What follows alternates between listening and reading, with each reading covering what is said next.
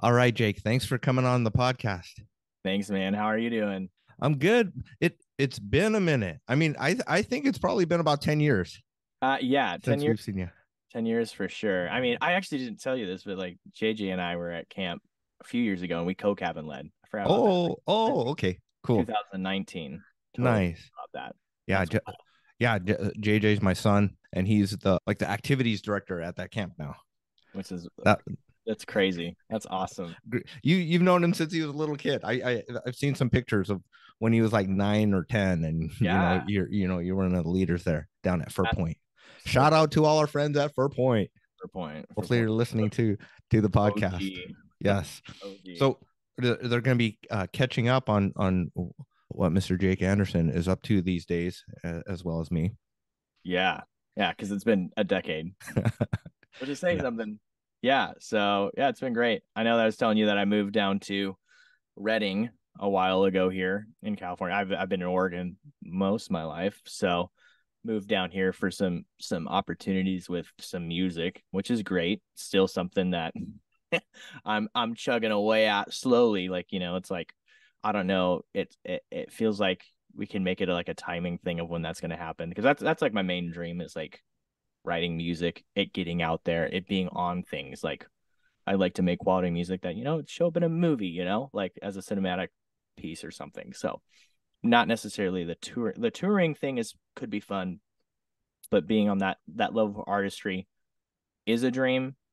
But I'm so happy with honestly being able to create the music and tell my story and have it impact people actually. Mm-hmm. So yeah. Yeah. Yeah. A little Great. bit about it. So yes. Yeah.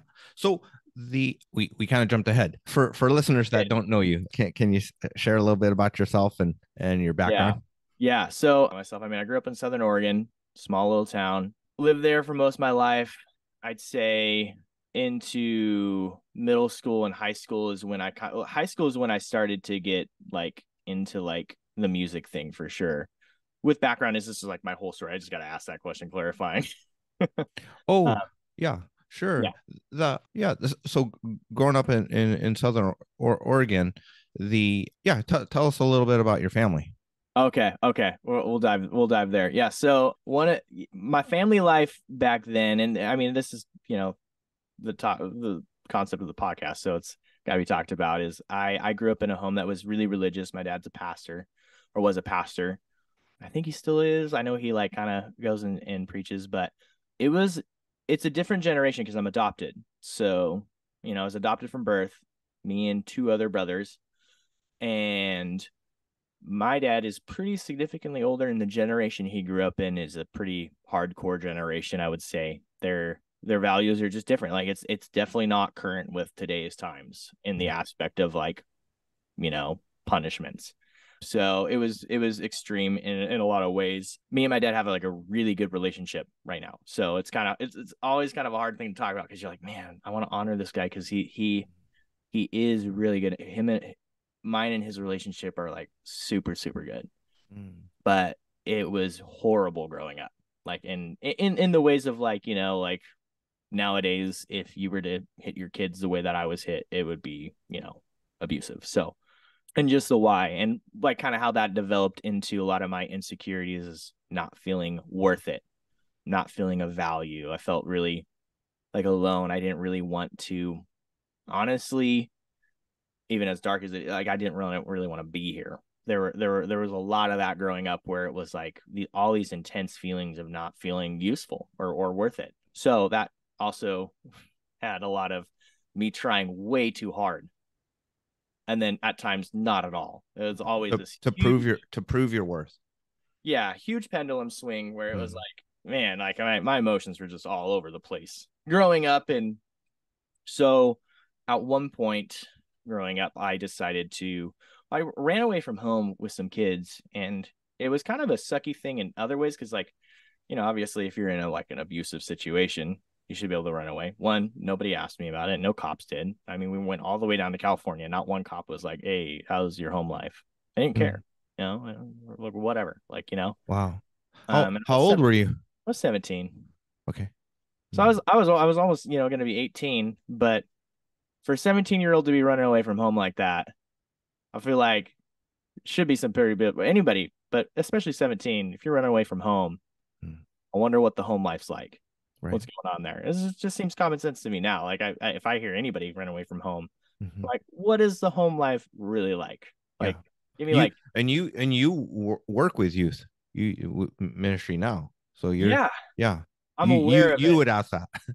I would. Yeah. Mm-hmm. yeah. The only time I don't is females in youth ministry. Like that's a, that's a no go for me. But I talk to the female leaders. I'm like, hey, mm. like there's there's somebody specifically right now in our group where I'm like, we've talked to her, right?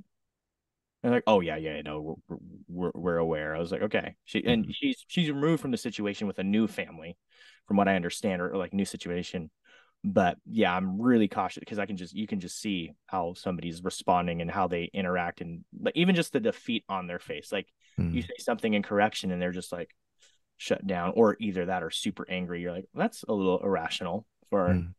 what we just said mm-hmm.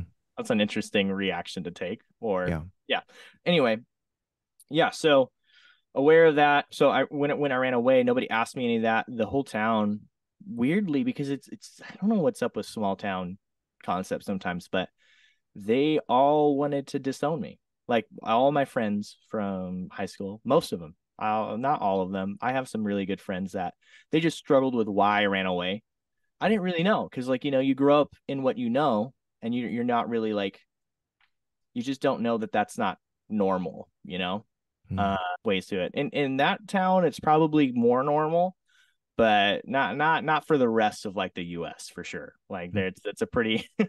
not not necessarily the way that you you go about raising kids. Was it was it like lo- loyalty to to to your dad or no, the town.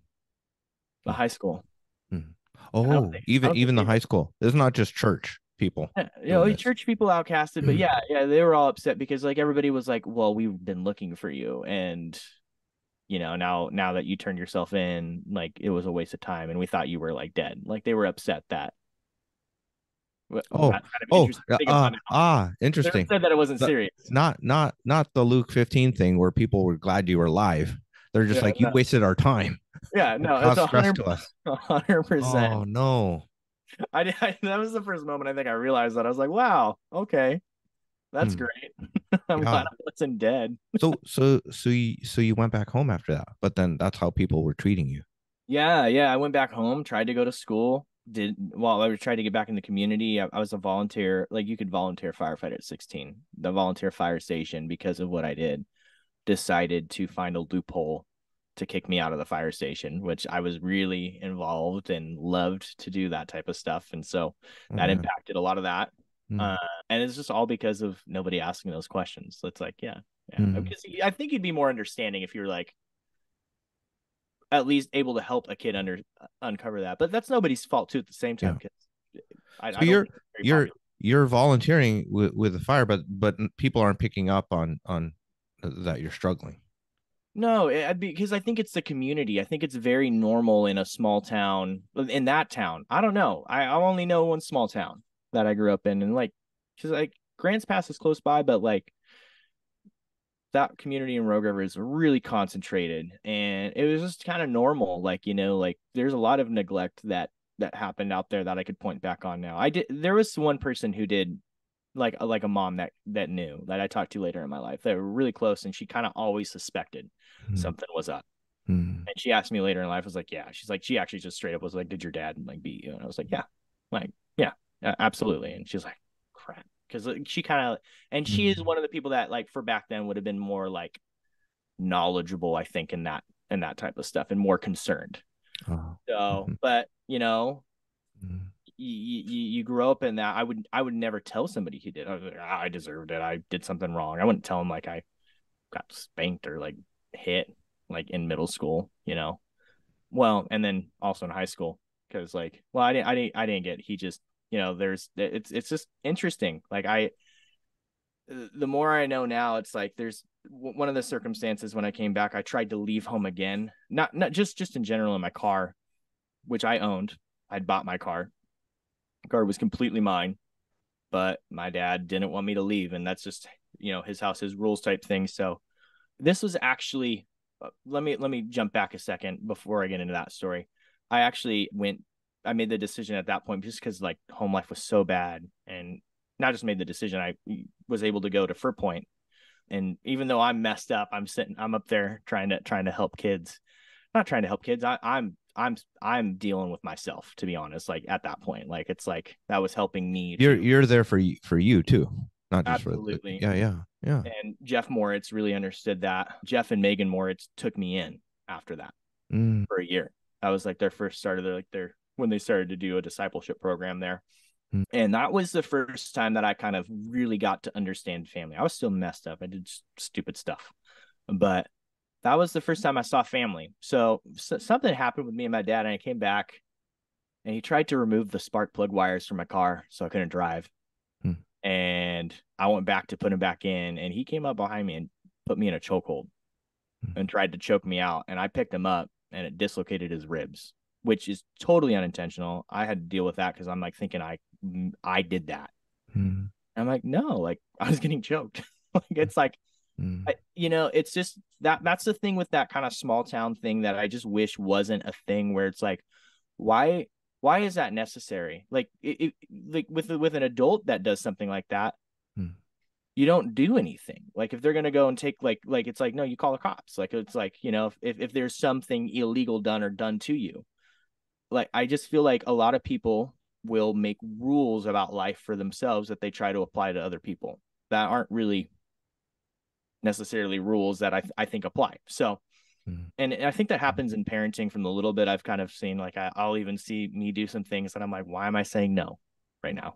Mm-hmm. Mm-hmm. That's not necessary. Right. Where did that Where did that rule come from? Yeah. Yeah, yeah, yeah. Like, why, why am I making a rule now about that? Is it just because I've been asked too many questions today and my capacity's at its limit? Mm. Yeah, that's probably it. That's mm-hmm. probably exactly what it is every time where I'm hangry. mm-hmm. So I don't know. That's just kind of the the background that I that I've had. But again, like I've talked through this with my dad a bit and my mom more specifically to where like now like I fought really hard. Like going out of that into to later life, I set really big boundaries with him once I finally figured this out and kind of knew that this is like that like that stuff wasn't okay and how I was being treated. So once I started setting boundaries and and those boundaries where you don't talk to me this way on a phone call about a situation that you don't agree with me with. Mm-hmm. So this conversation is going to end if we continue to talk like this. And that would happen. I would be like, "Okay, talk to you later." Hang up the phone. Mm-hmm. I just kept doing that because I was like, "No, you're you're not going to like sit here and like it's just a very I, and I'm sure people who know being in families, it, it can get really easy to get into that like argumentative circle mm-hmm. where you just want to argue in circles. That was all I knew growing up. It was literally the same argument just over and over again. Right. You're so just you heard the one side. Stuck, stuck in patterns. Yeah, absolutely. So yeah. Mm-hmm. once it broke, I, I, I don't deal with the same stuff anymore with him and our, our relationship super, super close. So how, yeah. how did you make the decision or or even realize that you could set boundaries with him? Well, I mean, that would have been through therapy later in life because, well, another thing that my parents were big into was you don't go to a doctor for anything. so that includes um, a medical doctor for yeah, medical doctor, any, you know? any oh. kind of doctor. Like, oh, you don't need it. There's other things you could do, or or you know, avoid medical bills. My dad hmm. notoriously mm. would not go to doctors, and I'm like, now he has to because he's old. He's 81. So mm. I'm like, ah, you kind of actually do need a doctor now, man. mm. uh, so it's like maybe you did for some things. Yeah. So uh, I, you know, that that concept. It took me a while to get into therapy because I was like, what is therapy? Like, I mean, I tried to do, you know, I was. We'll get into that too. Like my my relationships with women because of how I grew up were very codependent. I would pretty much just like do anything just mm. to receive attention for a long time and I had I had no like self-worth. So I think once therapy happened and I was sitting there and you know like he was going over he's like you've had chronic he's like from what it sounds like you've had chronic depression most of your life and you haven't had like really any happy moments. And that was like the first time that I was like okay. It's it's good to be happy. It's okay to be happy and it like that sounds obvious mm-hmm. now. Mm-hmm. Then I was like it was just revolutionary to me where I was like like I could, I could breathe for once and it was just really impactful and then it was also about like self-worth like like I was the way I was raised and because it was religious household on the extreme end of like because Jesus did this for you, you have to do this for everyone. You have to love unconditionally to like hmm. and I mean I, I get like sacrificially like give up your life. Sacrificially give up your serve. life. Hmm. Not just like love I think you can love unconditionally, hmm. but I think that's a good point. I think sacrifice sacrificial is different than unconditional love in my head. That would that that that makes it. It's like you know, it kind of feels wrong to say like you can't have unconditional love. Hmm. I think you could love unconditionally. It's just like don't sacrifice. You know, like you don't. That doesn't mean you have to like sacrifice yourself hmm. to love somebody unconditionally necessarily. Mm. Um. So, yeah, it kind of just. Let me turn my do not disturb off. Did you hear that? No. That's good. You're that's, fine. That's just gonna get me. It's so loud in my ears. Um, sorry, can you remind me where we were for a second? Yeah. So the oh man, self worth. Yes, self self worth. Oh, you know, we're I'm I'm curious about how you are coping and managing with the stress of all that. Like there's a lot of pressure on you. You mentioned you're codependent yeah. with, with relationships, but yeah, yeah, at that time I'd also had this is after I mean my story is there's so much to my story. It's hard to not jump around. After, you know, moving out with my moving out my parents, you know, healing that or starting to I say healing, I've just in the journey of becoming aware, to be honest. Like got married. Yeah. Marriage did not go well. How old were you? I got married when I was 20. Okay. I'm not saying that 20 you should never get married at. I am saying that if you don't know yourself then then you shouldn't get married at that age. Mm. if you don't have boundaries then you shouldn't get married at that age. I don't i hmm. don't need even if you're even if you're 25 that that's probably good advice. If you're 25 you're 30 or you're 30 don't my, my simple rules of don't be dumb. Yeah. Which is comical because you're always going to rationalize it in your head and my my constant mm-hmm. thing is trying to fight against me rationalizing why somebody acted this way it's like sometimes people just do things and you don't mm-hmm. need to mm-hmm. rationalize it so um yeah like i because of like having to feel like i had to like sacrifice myself to to do these things i had this really unhealthy codependent relationship with women where like I, and the type of women I'm somehow typically was attracted to where it was like they they're interested, really interested at first, but then they would like fizzle out and like kind of keep me dangling on, on a line for a while of like what ifs. And mm-hmm. there's just a mm-hmm. point where I was like, no more what ifs.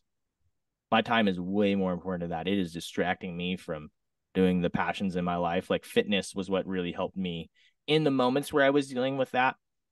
If I was like feeling like, wow, this girl's ignoring me now, like when it was just 100% okay the other day. She's into me, like wanted to date, and then now it's like nah, and we're, mm. in this weird mm-hmm. zone.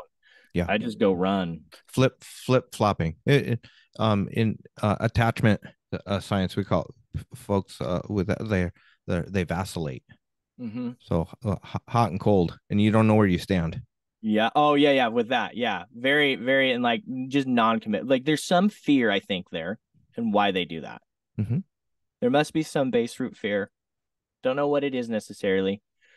I can. T- I know that there were family issues, no matter what. Well, but, but there's always family issues. I feel like to some degree, mm-hmm. even if you have the most amazing dad, they're gonna be like, "Well, there was this one time," and it, that's even me. Like you know, like I can't really harangue my dad about that stuff when that's that is how he kind of grew up. Mm-hmm. What I received was similar. Now, me, if I if I if I really learn from that, I better not do it with my kids like that and and you like the the little I've gotten into you know dating a girl with kids is that I'm like oh I have the same tendencies to be extreme whether or not I'm mm-hmm. I'm doing it in this way but my tone how I deliver how I talk it's not mm-hmm. great like I'm constantly working on how I'm talking to them how are you coming you across know? yeah yeah so mm-hmm.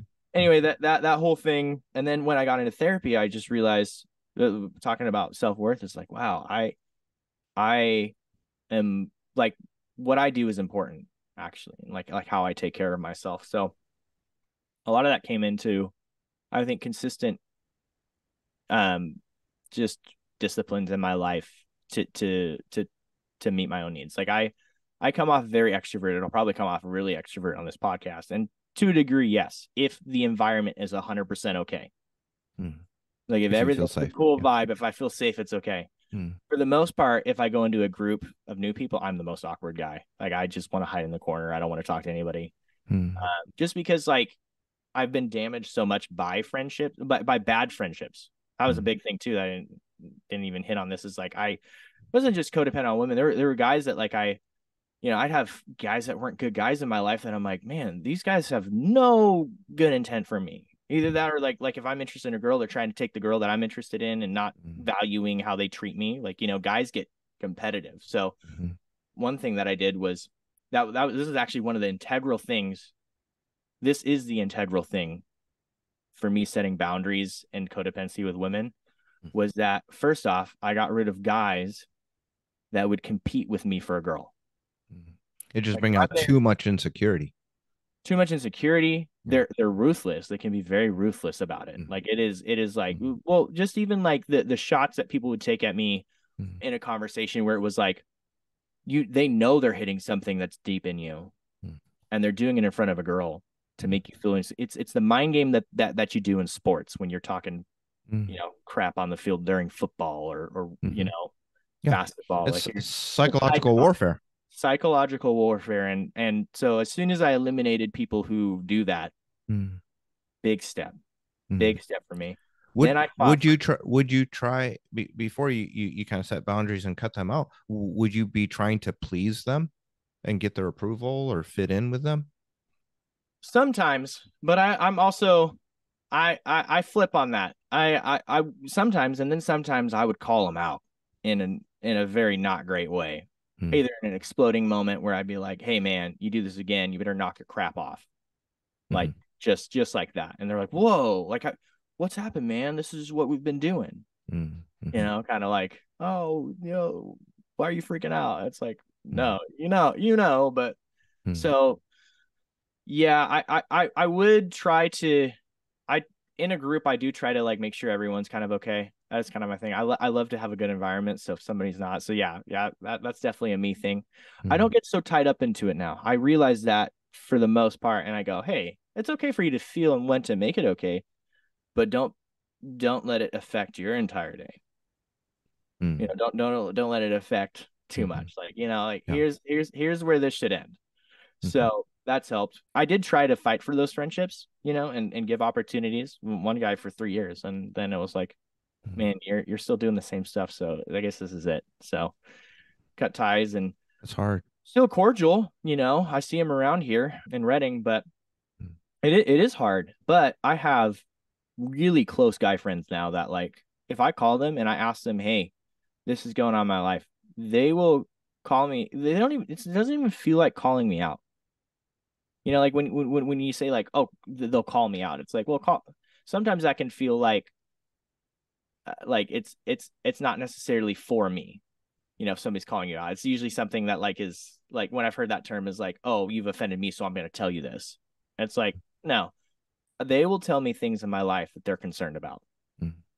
like hey man because you get you get you have the sense that they they love you that they're telling exactly. you for for you not just for them to say they they did the right thing or, or like self-righteous or whatever we're buddies I know like like mm-hmm. exactly. Like I know that if I was like if I was gonna go into a situation, they would have my back and be there. Hmm. Like whether or not they like if whatever the situation was, if one of them's in Nashville, he, I know he'd fly out if I like had like some crazy thing that like you know I was like, dude, I need I need help on this. Hmm. He'd be there, you know, would figure it out. So nice. Yeah, yeah, fighting fighting for that. And once I had those friends that I could that I knew that I could go one have a good time with, like we're gonna go chill. I could talk to them about the girl, even though like, dude, they're like, dude, you're crazy. Why are you still doing this? Like, why, why, why, why are you figuring out the what ifs that I found later in life, like with these same guys? We'll be sitting there and they're telling me something about a girl that they're they're talking. I'm like, dude, why are you doing that? Mm-hmm. Like, it's like it's it's it's it's a cool it's a cool place to be in my life where I'm like, wow, I went through all this crap for like mm. 25 years and this is kind of i feel like this is prime the prime time because i feel like after 25 i'm 30 I just really enjoy the friendships I make now. Like I, I really find a lot of like life in them. It makes it hard to stay at a job during the day because I I just genuinely enjoy connecting with people in that way, you know, outside of things where I'm like, wow, like I used to just really hide in work through my 20s and now I'm like mm. ah, work is work only does so much fulfillment for life. It gets you to get your basic needs, but your time mm on the weekends it's a pretty important time and your time off mm. off the clock so you're you sound so much more comfortable in relationships instead of it being stressful and and worrying about yeah. what's going to happen or if they're going to leave you or you're going to mess it up or whatever or they're yeah. going to hurt you you're comfortable in relationships you're more comfortable with yourself yeah yeah it doesn't mean i don't struggle with it like i'm more i still struggle you know dating in general it's it's very triggering for me actually mm. but yeah, I am more comfortable. At the end of the day, even if I freak out, I'm like, it's fine. I'm gonna be fine the next day. Like I know one of the questions is like, what would I tell somebody who was in a moment in like those dark to those like dark times, like you know, like like like how like what would you tell them? It's like, man, that they're like literally this moment is temporary. It is so fractional in whatever season in your life is whatever mess up it is, it's like literally the next day there will be a change hmm. that you can make. Like a better day, you know? Hmm. So it's hmm. like literally hmm. just remember, like, even though how devastating, I mean, I've gone through crazy losses this year and I've freaked out and thought everything was falling apart. Like I hmm. lost 16 grand in equipment in a in a car fire in March. Oh man. And my insurance didn't pay for it because of some loophole with them, you know, DJ equipment. Like they're like, "Oh, you make money from it." I'm like, mm, sometimes. you know, I didn't know that it was a, a loophole in their policy, like for for mm-hmm. it. Some some will cover your you know your business items. Like technically, if you're a photographer and you've photog like done photos on the side for cash ever, then you don't qualify too. And I'm like, well, that's horrible. You mm-hmm. know, like well, like how does that make any sense? Like you may, might have made like two hundred dollars one time from your camera stuff, and if you told them that, then you're your business not going to get covered. So yeah, that. I lost yeah. 16 grand. Oh. Well, I, I, lost 12 grand. About 4,000 was in other people's rented equipment that I had to pay back. So, yeah. Yeah. Hit all yeah. at once. No insurance. And I had a little GoFundMe and then it like, it, it, it helped a lot. I got to be able to pay it off. But most of this has been just me and the fact that I'm just overbooked with weddings and DJing gigs right now that has paid it all back, which is mm-hmm great. Oh, nice. You had you, you had a, a busy summer. Yeah. the busiest year ever. Nice. Yeah, yeah. which is great. Yeah. yeah. Great. It's still going. It's still going. nice. So, so yeah. I, I want to I want to pause because I don't want to move too far away from it and uh, yeah. go back to married at 20. Yeah, yeah, yeah. And the I'm I'm curious about what what you know kind of the lessons f- from that what that was like for you. But then also what's it been like as a, a christian you know in in your 20s and and ha, you know being single again being being divorced and what what that's what that's been like? Yeah that was probably my my biggest we talk about church hurts and church wounds nowadays. Mm-hmm. uh, that was probably my biggest church hurt because even growing up i was taught that divorce is never okay you should never be divorced. Once you commit, you're committed to one person forever. I heard somebody say, I thought was a great thing. It's like, well, nobody like gets into a, a marriage and goes, yeah, in four years we will be divorced. That's let's choose this day. Right. Everybody, everybody thinks marriage it's forever. Believes it's forever. So maybe like like that was that was the thing where I was like, this is such a huge delusion for people to think that I, I like like I just want it out. Like it's like no, like I wanted it to work. Hmm. My ideals and what I was raised with and the trauma that I had gone through affected my ability to be able to choose a good partner to a degree. Now, now that's still risky, I think, in general. Just, just to be honest, especially nowadays, hmm. it's kind of like I've I've been on a lot of dates in the past few years, and it was like wow. Like until you really got into into it and knowing them you don't know them. It can feel so good and feel so right. And then you're you know three months later and they're gone you know? You just mm-hmm. don't you know like it's it's like stuff stuff that i realized back then. There were there were things that with her she's honestly on the person she's a human you know? Like that that is a value you know? Like she she has value. I don't want to like just get on and kind of roast her in that way but there because i did i did a lot of stuff. But regardless of either sides of this we were not compatible. But didn't know it because of how our values were. You know we just we just found somebody. I, I church and the way i was raised i wasn't allowed to date while i was at the house. So which i think is actually kind of in my opinion it's not a good thing to teach your kids because then you kind of put too much pressure and want to date and ideal you it almost puts like more weight into you know making or like like having a marriage you know it's or like like choosing our person. It puts more pressure to find somebody in, in a way the right and, person. Yeah and then you, you're kind of like i feel like it kind of creates some codependency in my head because you're like oh i gotta do do these things. I gotta find the right person. So when it came to dating i just first person I dated, basically. I was like, all right, let's do this. Like, found the ideals I want. We're good. Even though there were like a lot of relational things where we just didn't communicate very well. Also, just, and I mean, mm, like insecure in, in the too much fashion. I feel, I still feel like in relationships with the women that I'm typically attracted to or attracted back, there can be a lot of insecurities, jealousy, things, things that are like I mean, like I'm I'm actually ethically holding a good ground here. I don't understand why we're having a conversation about this right now. we just just genuinely don't know how you came up with this like this thought. This is how it is. I'm like, I don't know where that came from, but th- mm. this is where I'm at. That's not what I'm saying. You know, there was there was a lot of that to like the extreme, and it was how she would react and how she would treat me out of it to where it became. I was very like when we moved to Klamath Falls. I was you know she's going through dental hygiene school. I was really isolated.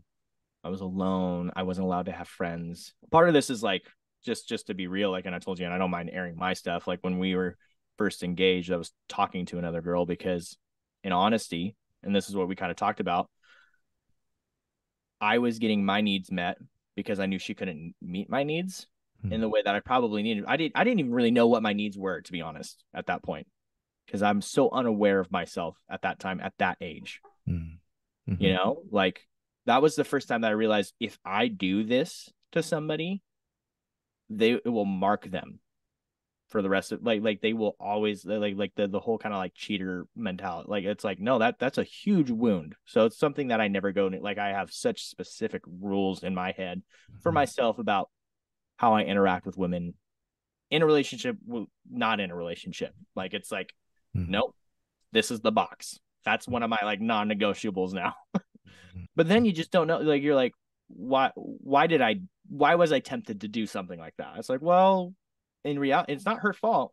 It's really not her fault. So it's not fair to process that with her in, in my head. And I'm glad I never did. She didn't line up with what would have been good for me in the long run. Her values, they well, they also changed. It went from like being like super like Christ centered and like this is this is like, you know, like got to read our Bible every morning, which I don't necessarily agree with every morning. Like it's like there's other ways to connect with the spirit. And I think the word is very good. I want, I want to be very clear on that. It's just if you're reading the word out of obligation to your wife, that's probably not a good thing. You should probably be doing it for yourself, is all I'm saying. And then just kind of going like those, like just the the different things there. And then she basically was like, "Wow, I really just wish we wouldn't have been married, and I would have come down to party at the college." And I'm like, well, that's drastically different.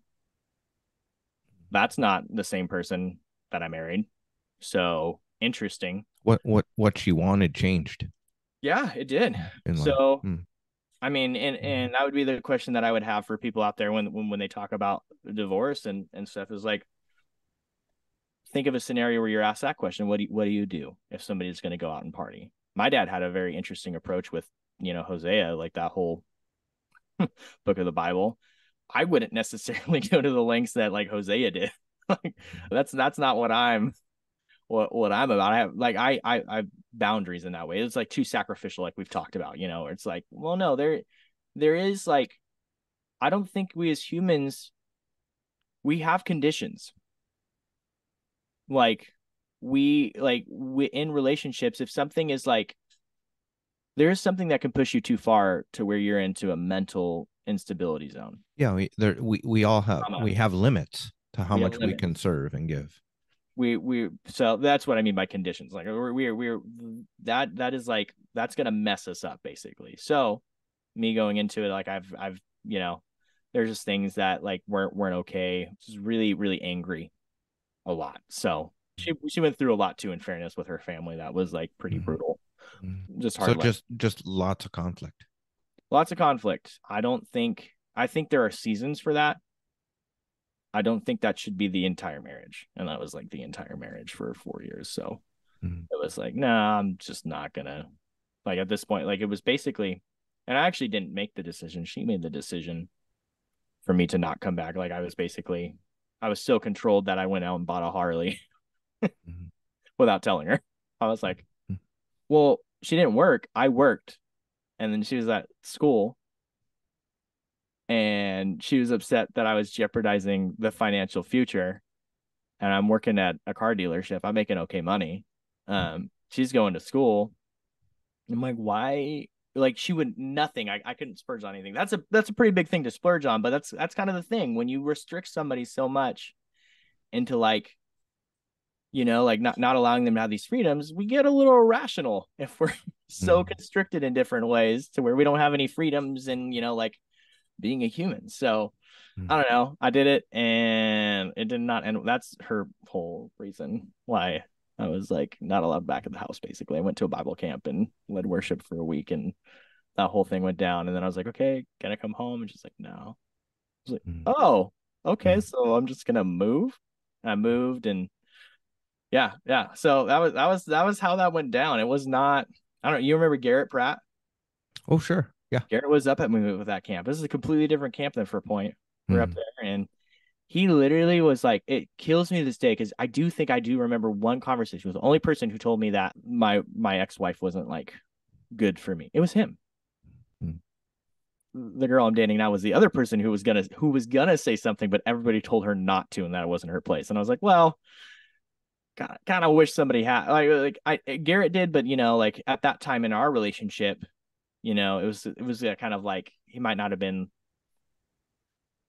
you know like at the time it just didn't affect me the same way as if like if we were like close if we would have been closer mm-hmm. like now now if garrett tells me something i'm like yeah no i'll listen a little bit here i'm sure you're probably mm-hmm. Accurate on that. When you're uh, ni- and you, when you're 19 20 maybe you're not listening you're not to, listening. to, to, to people. Yeah. i've been told to listen for the last you know 17 years. Well well 19 19 years there with them and i was listening to the wrong things the whole time. So you're rationalizing that. What, right. what do i listen to? Who do i listen to?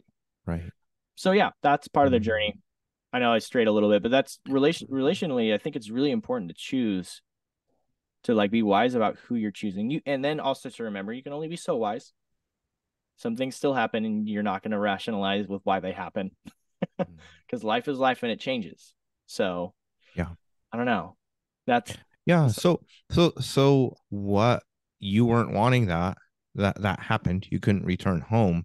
Yeah. So so your your your your life is not going the way you were expecting. How how did you kind of stabilize and and get get back on track?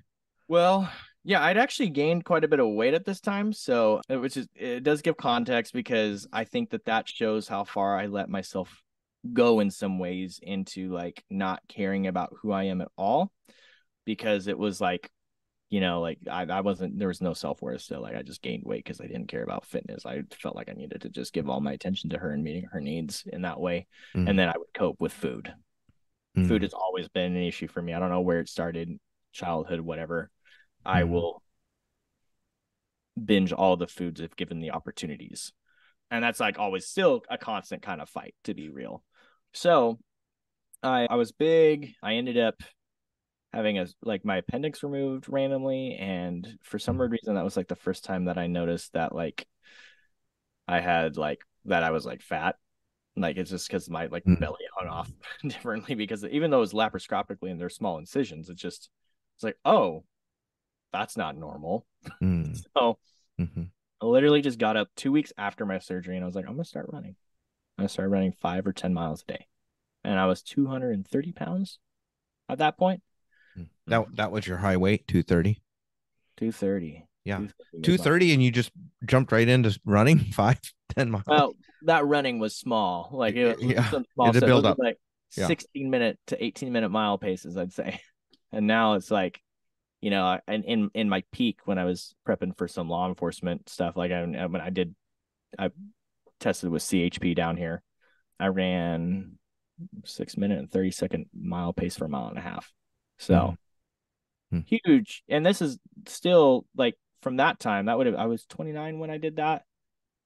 I lost weight when I was 26. Hmm. So three years? Yeah. Yeah, maybe four. Maybe I was 25. I, it was between 25 and 26. Oh, because mm. it was on my 26th birthday when I had the surgery. Yeah. Mm. Okay. Hmm. Or two days after. But yeah. Yeah. Yeah. So yeah. You start with with running. And running. And and what are you what are you thinking on these runs? Oh, that's actually an interesting question. Everything.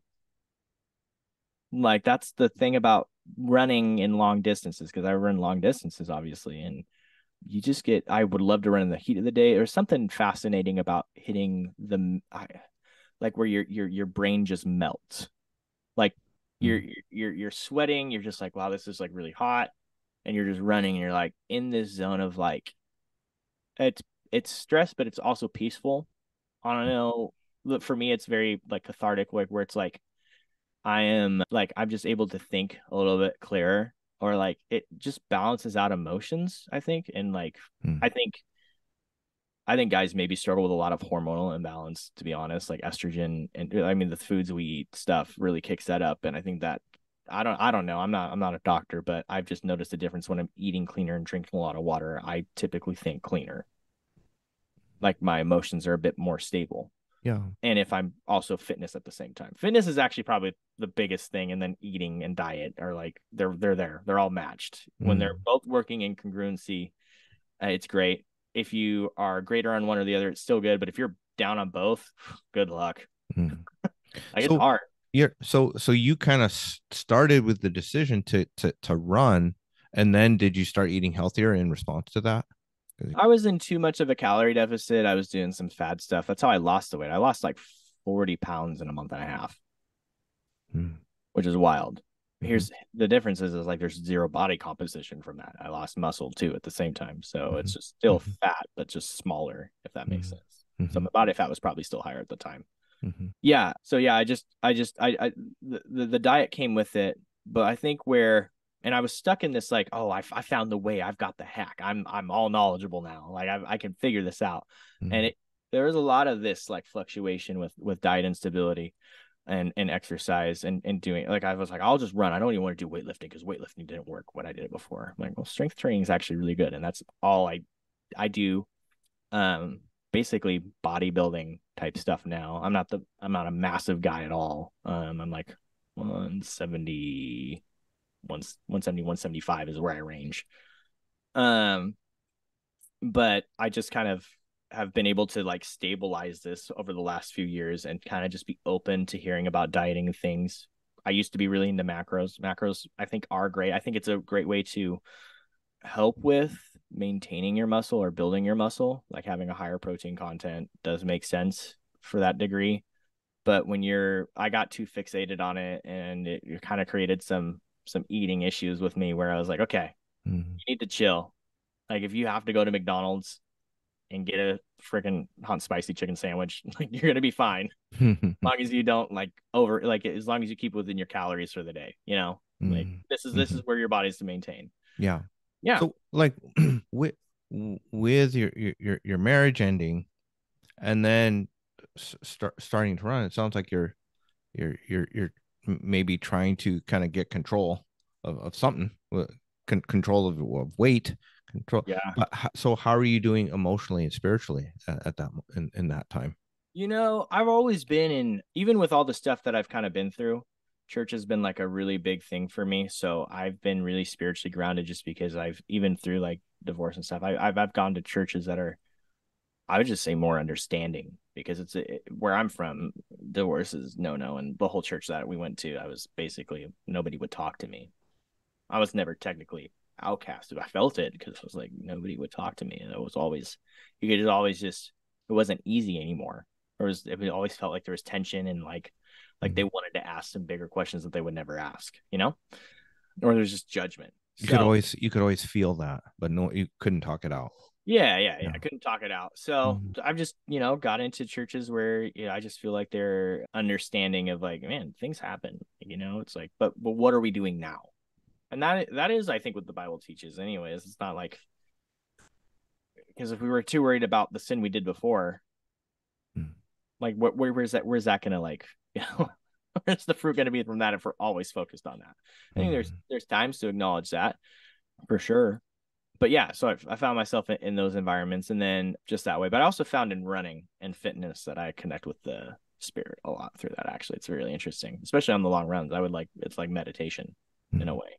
Or if I'm like listening to worship music, I listen to a lot of worship music a lot and that's like really helpful. It's that, like when i talk to god probably the most is like through those moments like hey this like like you know like i'm struggling with this mm-hmm. or hey you know like what do you, what do you have to tell me today just in general? Not even just because i'm struggling. A lot of times we use the helpline a lot. I do. Mm-hmm. but it's like hey, you know what do you have to tell me today you know? Mm-hmm. so even when you're doing okay and even when you're just doing listening okay. yeah. yeah. yeah. Mm. You, you mainly so, go hang out with your friends when you're okay, right? Mm-hmm. You, you, do both, but like you, you still hang out with your friends when you're okay. It's like, why don't we do that with mm. you know, the Lord? It's with like, God, yeah. So uh, hours running and mm-hmm. and and listening and worship, yeah. yeah.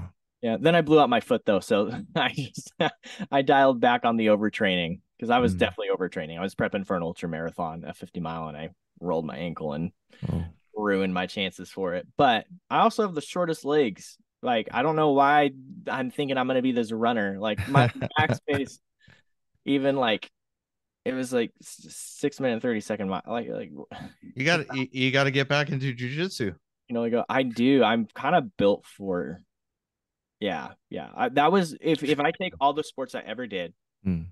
just just for me. Not saying I'm good at jujitsu. No, if I take all of my baseline sports and everything I've done, I'm better at jujitsu from the start than all of them. Just naturally. Yeah.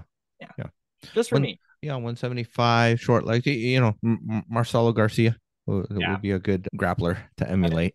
I wouldn't, I wouldn't be too bad. We, we got a good gym down here, Rice Brothers. I haven't been there yet. I got to go check them out. But, and then I did some things with Impact Jiu Jitsu because the, the gym I was at in Klamath Falls was connected with them. Oh, fun. Um, so, mm-hmm for yeah. for a bit, but I did I did a competition when I was 230 pounds. I wish we had a photo, which is like Joe Rogan. Pull pull up the, the photo. Yes. um, it's like where I'm 230 talk, pounds. Talk us talk us through the Mac, Jake. Yeah, 230 yeah. pounds trying to do jujitsu, and I basically won because there wasn't a fourth competitor. I, I got a third place trophy because there wasn't a fourth person to compete against. The, this this happens at tournaments. I I've I've received a, the bronze medal. the bronze medal, right? Like, right. The participation. It was yeah. It's like fine. I mean, this is so. I was three weeks into training, and I'm, I'm going to do a competition. Hey, hey, if, if if if if you're willing to go at three three weeks in or three months in, like that that respect. Put yourself out there. Like yeah, yeah it's. I'm uh, wild. Yeah. I, I, still have my crazy ideas, and I'm that. That's when I know I'm like I need to emotionally regulate somewhere because I know that if I'm like wanting to get like recently, I was like I'm gonna get back into training for a season because I can only afford it for a season if I'm gonna do.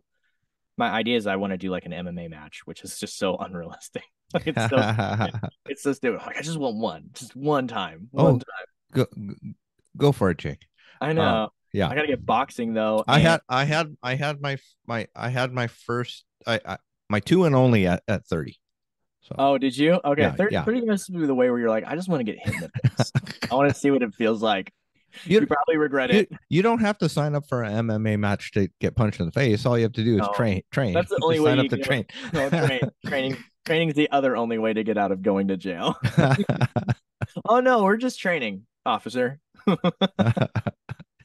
yeah, in the public park. Yeah, or in a parking lot. Yeah. no, no, no, no. Yeah. Safe, safely. Yes. Yeah. So yeah. Anyway, emotional regulation has been a, a thing mm-hmm. that fitness, spirituality has really helped out with, but they all mm-hmm. kind of work together. Yeah. Like. Yeah. If you're missing one, it's going to be a little lopsided. Mm. So, so you you were diagnosed with with with like chronic depression. Do, do you still struggle with depression these yeah, days? Mm. all the time, but it's so different. Mm.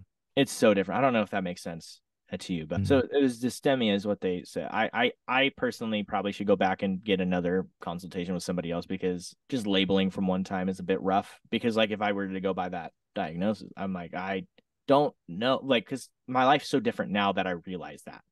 Mm. Literally that moment in the next year, I was like a a different person. Everybody, like the the new church I was at, like because I'd also been let go from a church that was a church plant in Southern Oregon. It was a pretty pretty cool church. One of my best buds now. Like we're still good. I'm still good friends with the pastor, even though he made the the tough call. Mm. I Cool. yeah, yeah. Everybody from the from the new the new church I went to was like, man, you are like a different human. Like all my friends nowadays, they're like, wow, you're like so different than you were before. Because it was just so obvious that I needed validation, and I still do. I still struggle with that. I struggle with that. I struggle with depression, still codependency, but it's I have tools to manage it. I'm not so fixated and I'm not so devastated from like the outcomes of those like failures in relationships Mm. and Mhm. things. So yeah, Yeah. it's been super helpful. the just hearing that that that diagnosis you you mentioned it was like you, you could finally breathe it, it was a it was it was a big relief Yeah. be, besides kind of naming it and understanding the problem what's something that you learned from the therapy that's been helpful Well, that guy was interesting. so he wanted to put me on some weed. oh okay And I'm like, so he wanted to go straight into to into that route. the which, medicate uh, ma- medicating that way huh. Yeah, and I'll be real. Like, I mean, I put it in my for my law enforcement application, so it's, it's no secret. I've smoked weed before. Not good for me. Mm. Not not something I like to dabble in. Just For because mood, I yeah when my quality of life goes down, I just want to see it sit and eat all the potato chips. Yeah, sure, it might like level me out for that moment, but you also get anxiety from it. Like I, I if I sit too long, I get I, I have a weird balance. Like I can't on my days off, I used because I was so into work that when I took a time off on a day, I'd get so overwhelmed that I wasn't being productive for a few hours. So I had to get over th- that anxiety moment and being okay, like not doing something and getting Ah. quality rest. feeling anxious and or guilty or just Well, and that was indi- that was just pointing to that my work was a toxic environment. I needed to leave. Once I left, completely uh, just too much pressure. Like the yeah. Anyway, I I there's some things that I can't like deal with that type of person with. I don't have a way to emotionally regulate that to to have a quality life. So the easiest thing to do for me was to remove myself from that situation. Hmm. The question one more time. This my brain is so ADD. Hmm. I get onto a thought and I'm oh like, oh just just what did you learn how, how did therapy Oh help you? yeah. So Yeah. therapy though, the reason I went to therapy, this is a big one. Just speaking about my codependency, I was with a girl for two months that I thought we were so infatuated. And this is, you know, after marriage, we were definitely doing things that were intimate. And it was like really hot to try, which I don't agree with doing things that are like super like I just you should have boundaries and like just let it naturally progress to, to understand who you're gonna be with. Like Hmm. I'm not I'm not into that. are you saying it sounds like you're is- saying it's, it's vague. I well, was having sex. well, so well, well, like- what, what it's- it, yeah, it, and I, yeah, let's just call it out. We we understand that, but but it sounds like what you're saying is you you you wish you you had or you'd recommend like getting Um, to know each other better, like yeah, not not just just that be everything. Yeah, it's just it's too much. It it does too much to your brain. I feel like, I feel like that that alone, just even the feelings and things, like it's just like it does too much, like in my head neurologically, where I'm like even more fixated, to where I'm like, oh, they, like this is like I I Oh, put sure. too much identity into into the relationship where it's like, hey, we're just really getting to know each other, and sure enough, two months in, she cheated on me. Mm, So mm, like just devastating, and it was it was the worst experience. Like and mm. I'll own that part of the story because you should, and I think it's more normal than a lot of people let on in in the church. Like I, I was in church leadership, things like that. Not at the time. Not that that should like it doesn't really matter. I'm still held to the same standard. I feel like in my head, like Mm. you know. Mhm. So, but learning from that and like going through that, I was like, man, I, I definitely learned some things where it was like, okay, well, she was no good. Mm-hmm. There were signs I saw how she would talk to other guys, even though she was so infatuated with me. It's just how she talked to other guys. I was like, I'm not comfortable with that. And I would talk about it. I would because this is the time that I was trying to advocate for myself. Ah, mm-hmm. Out of that relationship is when I learned like, oh dude, you are so codependent. It was I went to the first codependency class at a church that I'd ever been to.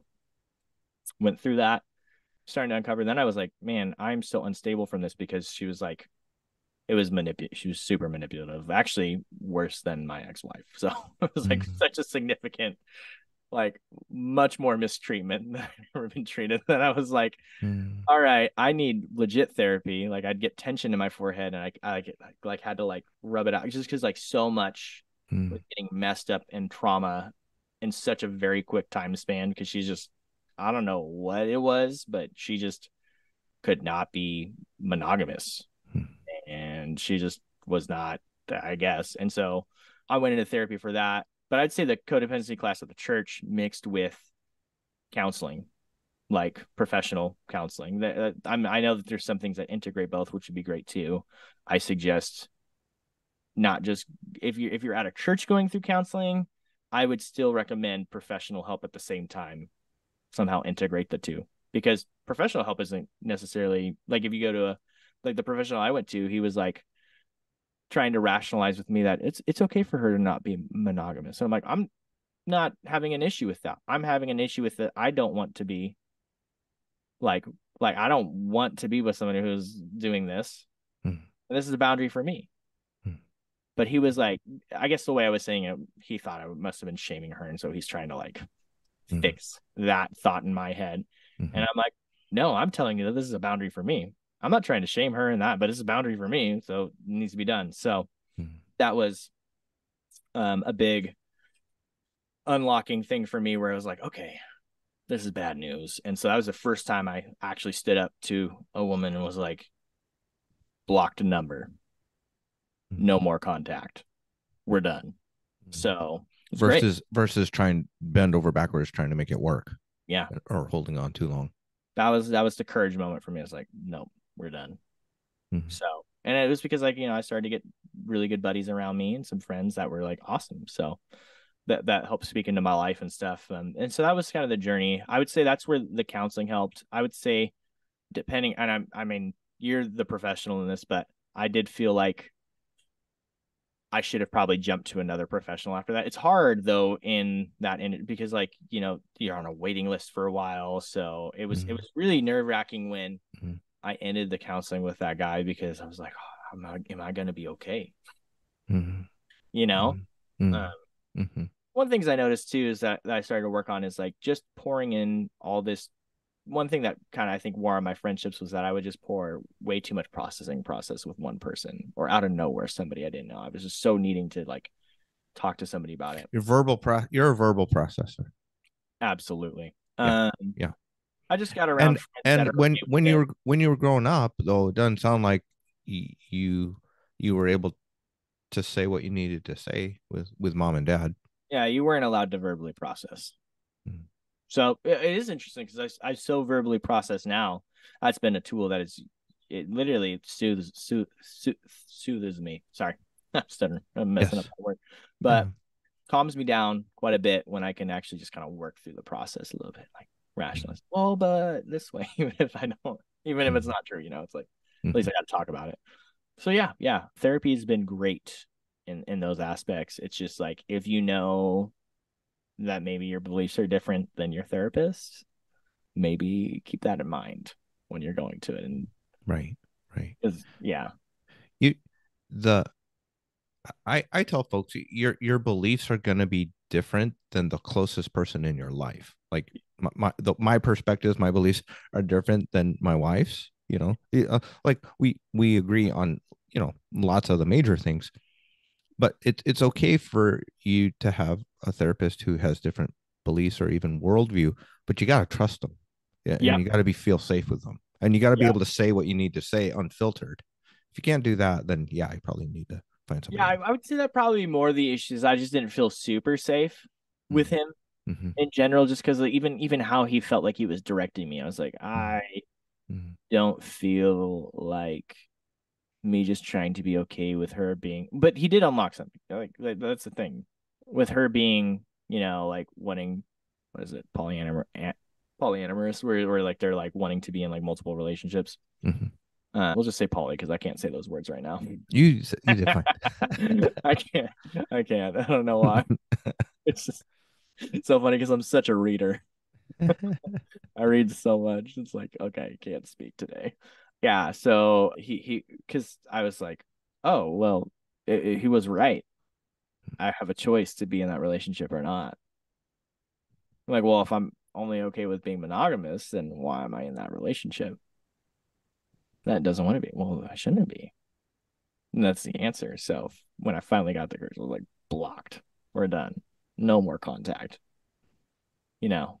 That was, that was, that was probably the strong thing for me so yeah, going through that, yeah, I, think I think therapy was like really really helpful to get through a lot of these processes and really life giving in that aspect. I can, I admit it's a hard challenge sometimes, like financially, to be able to to do it, especially in my income bracket because I'm not making a ton of money, but I'm not making little money.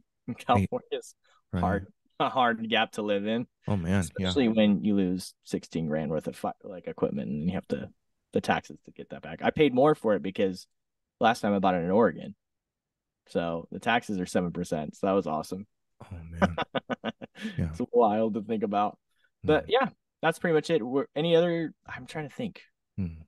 That's well, well, we, we we can wind things down. The two two things I'm I'm curious about. Like cool. so so these days, yeah. What's what's your your your week look like? Like you, you mentioned, you're still playing music. You're you're doing camps. Yeah. Yeah. So I'm curious about ministry and and, and dating and relationships yeah. these days. ministry, dating, and relationships. So that's yeah, because I remember saying something.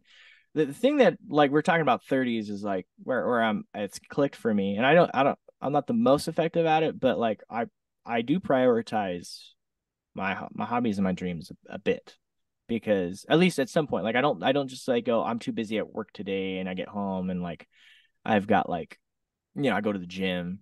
I, I run in the morning two miles. In the evening, I'll go to the gym and I'll do 30 minutes to an hour, depending on what, what body part I'm hitting or like if I'm doing back. Well, usually I start out honestly like the I'm doing kind of more like Dorian Yates. Even I hate to say that because you'd expect me to be like steroided out and like 300 pounds. Dor- Dorian Yates, for for listeners who are not familiar, he's a huge bo- bodybuilder, right? From from England, I think.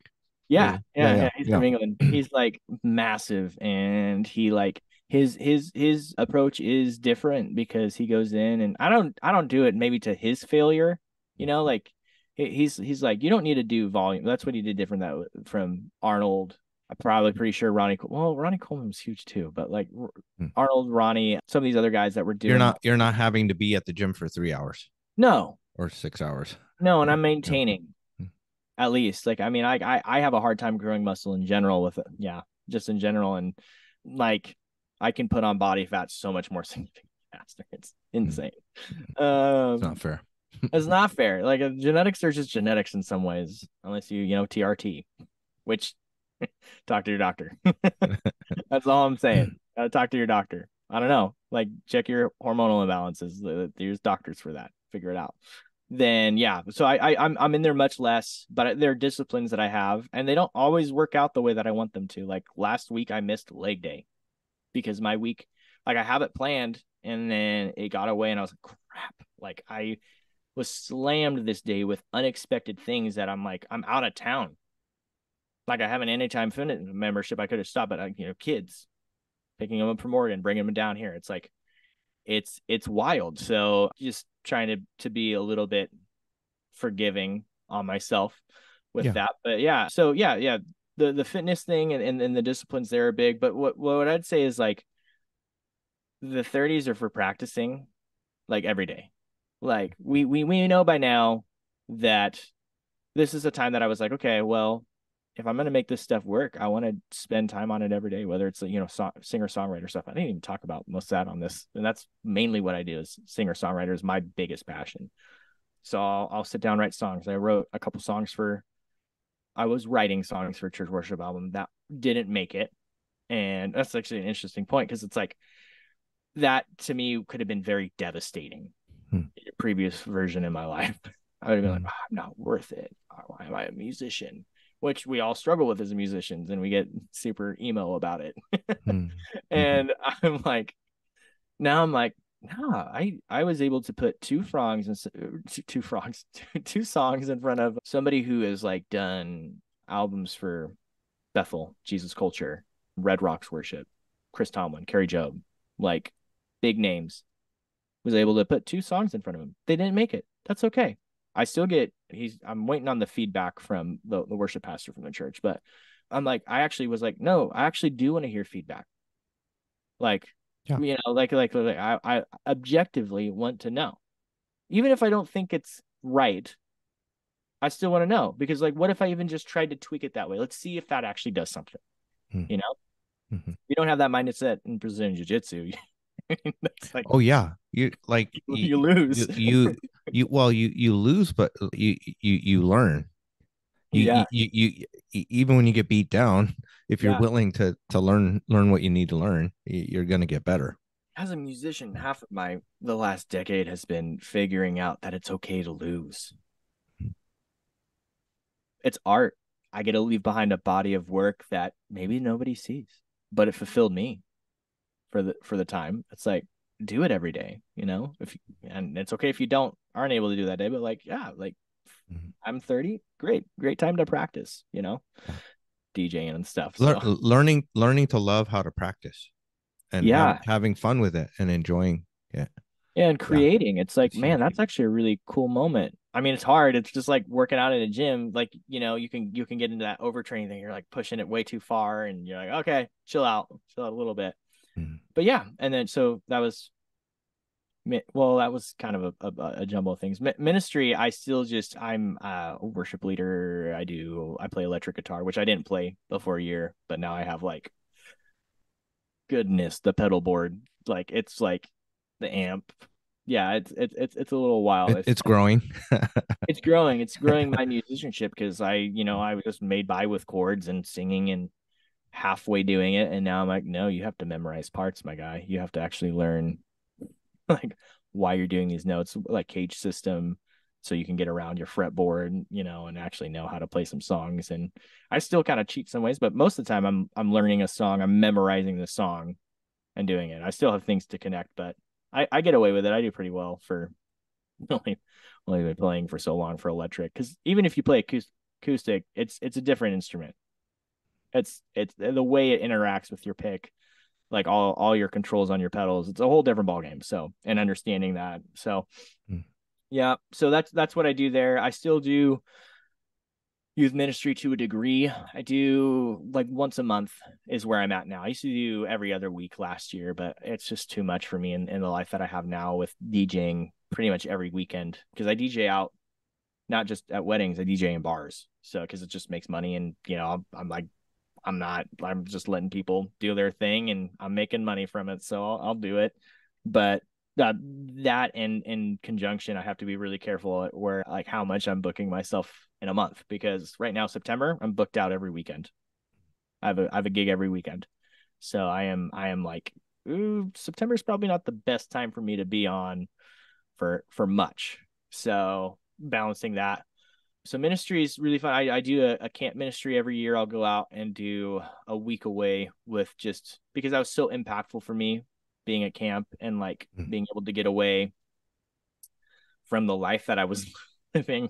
Mm. To be able to do just to be free was so life giving to me that like I, I just love mm. to go mm. there and, and, connect with you know kids through through music. You know, it's like hey, you know, mm. that was impact. I wouldn't have played music if I had not gone to camp and seen Jeff Moritz play mm-hmm. would never have happened. I would never be in this this position that I do and in, in, in the passions that I am. I was yeah. 17 when I started playing. That's awesome. Shout, so. shout out to Jeff. Jeff Moritz, the OG. I miss him. Yeah. El Jefe. Yeah. Jake, it, it, has been good to have you on. Yeah, thanks, man. Catch up. It's and so good. I the so we'll, we'll put your ways to connect with you in, in the show notes. And, yeah. And then I, I don't know. It, it, it, there, the, the, you, you've got lots of stories that we didn't get to I think it, it might be fun to to talk, yeah, a little bit more about about dating and and how the church can support and single people. Yeah, and and and and folks who are divorced better.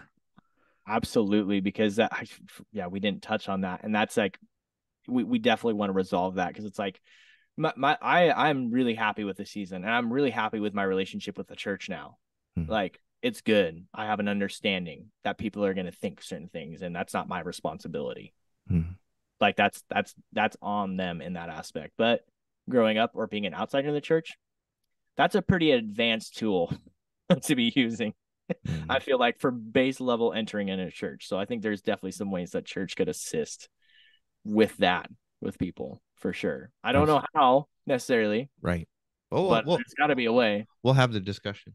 I was I've been thinking about having like a, a panel like to, to just talk about how we could do it yeah. because it's I mean it's it's something that uh, like is is important to me. Like we've been at our church for two and a half years and Julie and I, my wife and I, we're still trying to figure out like where to serve and you know how, how to help yeah. and yeah. So yeah, thanks for thanks for coming on, Jake. Thanks so much, man. Have All a right. good day. Okay? Have a have yeah. a good September. See ya.